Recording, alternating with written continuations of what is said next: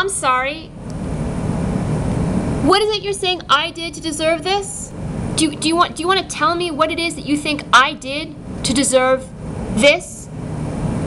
Cause, Cause that's what you've been saying all this time, right? That that somehow everything that's happening to me is something I deserve, right? I deserve it for some reason. Would you like to say what that reason is?